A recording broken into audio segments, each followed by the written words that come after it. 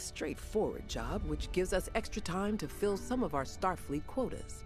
Uh, the recruitment booth, no! Well, someone's got to do it. Uh, do they? Because last time I checked, nobody's ever signed up for Starfleet at the recruitment booth. I did. Shh, you're not helping. Sorry. I know it's not super exciting, but it's our assignment. What are you gonna do? Mm, complain the whole time and make it twice as miserable? that is your specialty.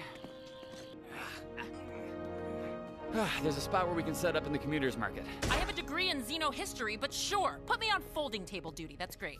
Oh, I'm sorry. Is the booth not exciting enough for you? Yeah, actually, it's the worst, and I'm really glad you said something. Can we get a different assignment, please? I don't care if you like it. That's not the point. No, the point is to give us work nobody cares about, so the captain can tick off a meaningless box. I care. And I'm gonna be checking in today. If you so much as step one foot out of that booth, I will transfer you to Starbase 80. Starbase 80? Don't joke about that. Starbase 80's the worst. When I get down there, you better be in the booth with a pad full of contact info, or you'll be at SB 80 faster than you can possibly imagine. Okay, okay, I get it.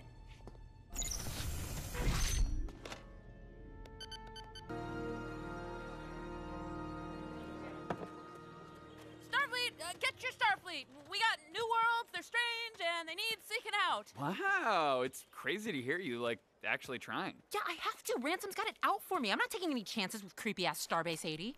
Do you have to go to Starfleet Academy to work on a ship? Ah, thank you for asking. No, not at all. You can enlist as an NCO and then go to the Tech Services Academy on Mars. You could work in a transporter bay. How about that? Really? Do the transporter guys ever get to sit on the bridge?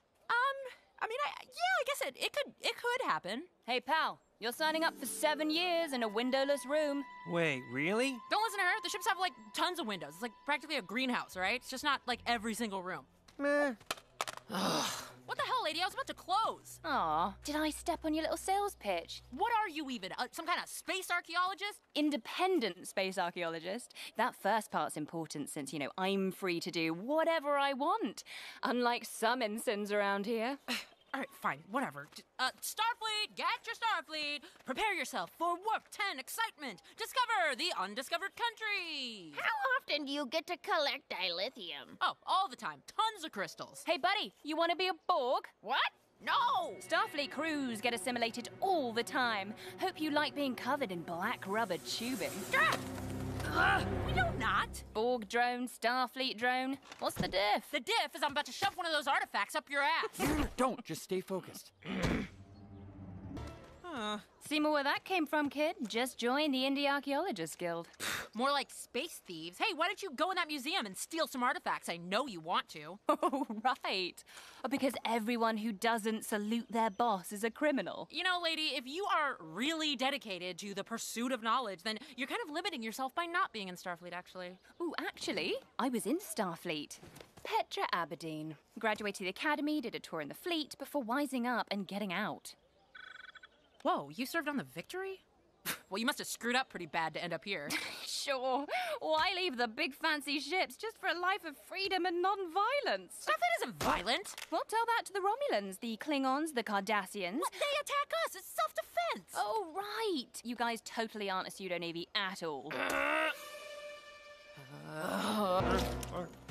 Do you ever get to touch mummies? Constantly. And you never have to go back in time to save Earth. That only happened like four times. Five tops. Oh, great, the Collectors Guild. Well, look at this. Word's getting around you little ensigns can't leave the booth. The only thing you two collect is dust. Oh, now that was collectible.